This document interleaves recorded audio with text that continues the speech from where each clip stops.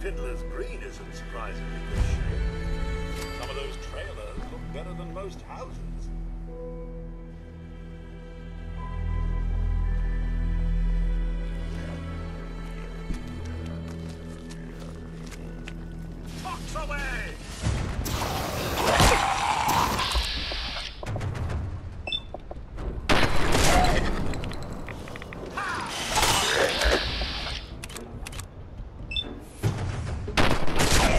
Everyone's still alive. Head down, Mum.